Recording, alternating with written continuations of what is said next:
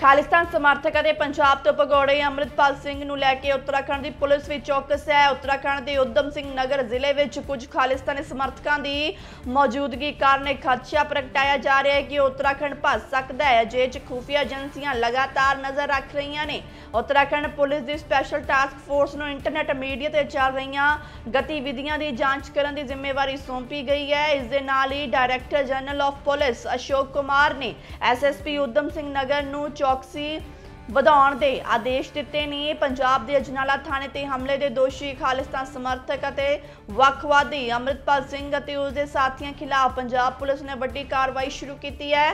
ਅੰਮ੍ਰਿਤਪਾਲ ਸਿੰਘ ਦੇ ਕਈ ਸਾਥੀਆਂ ਨੂੰ ਗ੍ਰਿਫਤਾਰ ਕਰਕੇ ਜੇਲ੍ਹ ਭੇਜ ਦਿੱਤਾ ਹੈ। ਇਸੇ ਦੌਰਾਨ ਅੰਮ੍ਰਿਤਪਾਲ ਪੰਜਾਬ ਤੋਂ ਭੱਜ ਗਿਆ ਹੈ। ਅਜੇ ਚ ਖੁਫੀਆ ਏਜੰਸੀਆਂ ਲਗਾਤਾਰ ਨਜ਼ਰ ਰੱਖ ਰਹੀਆਂ ਨੇ। ਉੱਤਰਾਖੰਡ ਪੁਲਿਸ ਦੀ ਸਪੈਸ਼ਲ ਟਾਸਕ ਫੋਰਸ ਨੂੰ ਇੰਟਰਨੈਟ ਮੀਡੀਆ ਤੇ ਚੱਲ ਰਹੀਆਂ ਗਤੀਵਿਧੀਆਂ ਦੀ ਜਾਂਚ ਕਰਨ ਦੀ ਜ਼ਿੰਮੇਵਾਰੀ ਸੌਂਪੀ ਗਈ ਹੈ। ਇਸ ਦੇ ਨਾਲ ਹੀ director general of police Ashok Kumar ਨੇ ਐਸਐਸਪੀ ਉਦਮ ਸਿੰਘ ਨਗਰ ਨੂੰ ਚੈਕਿੰਗ ਅਤੇ ਚੌਕਸੀ ਵਧਾਉਣ ਦੇ ਆਦੇਸ਼ ਦਿੱਤੇ ਨੇ।